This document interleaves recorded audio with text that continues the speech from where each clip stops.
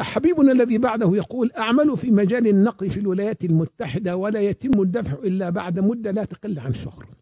يتم اللجوء إلى طرف ثالث للدفع خلال 24 ساعة للإنفاق على مصاريف التشغيل وهي تكلفة عالية. وهذا الطرف كل ما يفعله هو التحري عن تاريخ العميل المنقول له في الدفع ويطلق على هذه العملية فاكتورينج هو فاتك يا سائلنا العزيز أن أن تذكر في السؤال أن هذا الرجل يتقاضى منك نسبة مقابل هذا التعجيل فهو يشتري منك هذا الدين بأقل منه.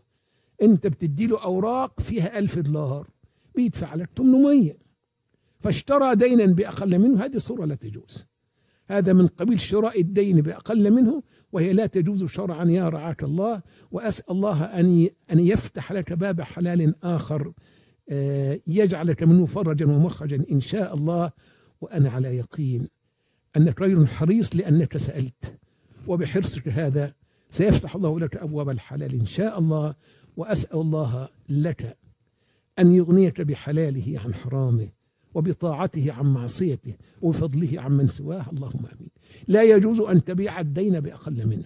هذا تسمى في بلادنا خصم الأوراق التجارية. تاجر بيبيع بالتقسيط. عنده ديون عند الزباين بمليون بمليون دولار. لكنها كلها مؤجلة. فيبيعها إلى بنك يعجل له 800 ألف عشان الدورة تمشي. هذا بيع الدين بأقل منه. هذا لا يجوز يا رعاك الله.